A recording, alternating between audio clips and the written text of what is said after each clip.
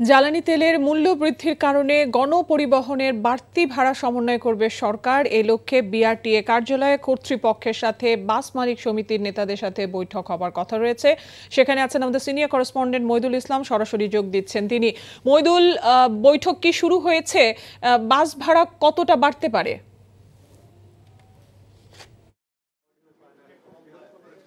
রুকসানা গত গত শনিবার থেকে গতকাল শনিবার থেকে যে নতুন দাম কার্যকর হয়েছে জ্বালানি তেলের, সেটার প্রেক্ষিতে আসলে বিভিন্ন পরিবহনে ভাড়া বাড়বে, এটাই এই নিয়ে সব জায়গায় আলোচনা চলছে। তো সেই প্রেক্ষিতে আসলে কত ভাড়া বাড়বে সেই বিষয়ে একটা সুরাহা করতে এবং সিদ্ধান্তে পৌঁছাতে বাংলাদেশ সড়ক পরিবহনের মালিক সমিতি একটি বাংলাদেশ সড়ক পরিবহন কর্তৃপক্ষের কাছে আবেদন করে একটি সভার জন্য। তো সেই সভাটি বিকেল পাঁচটায় শুরু হওয়ার কথা, কিন্তু এখনও আসলে শুরু হয়নি। বিভিন্ন আপনি দেখতে পাচ্ছেন যে সড়ক পরিবহন সেক্টরের মালিক সমিতির নেতৃবৃন্দরা আসছেন এবং এই এই বিষয়ে বিভিন্ন সংগঠন এবং বিভাগের কর্মকর্তারা আছেন, উপস্থিত।